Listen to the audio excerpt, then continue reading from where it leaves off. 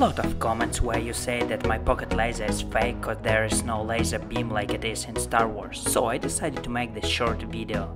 Here is two slimes, that is actually cleaning compound slimy gel. It is originally yellow, but I'll dye it black for you to see the beam more clearly. Holy, just check what we've got.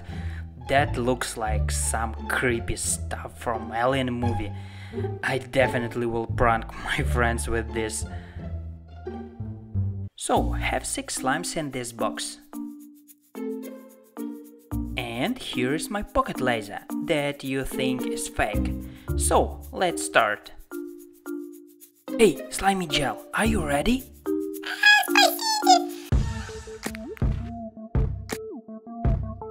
I can smell the burnt plastic after 10 seconds. Hope you also can see that beam when the plastic smoke is on it. Now it smells different, that must be slime. Awful smell. Just check that hole. It looks like slime wanna go out.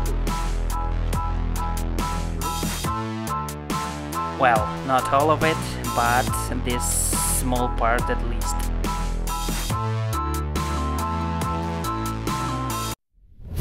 So, now you've seen how this pocket laser works. But wait, that is Timon channel. Something definitely must go wrong.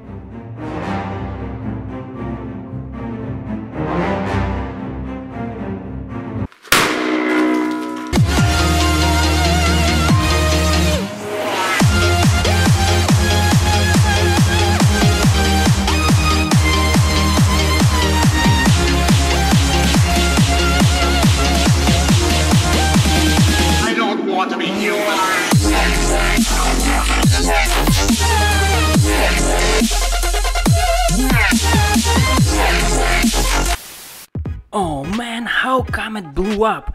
I think that this is negative energy from all the comments where you say that this laser is fake. Just look what's left of these nasty comments. So guys, if you still wanna see how I melt a gallium Lego man with a pocket laser, you know what to do. Also, if you have any ideas what happened to slime, share it in comments. And yeah, almost forgot. Big shout out to this guy. And that's it for today. Don't forget to like this video and make sure you subscribe to my channel. Leave your comments below and take care.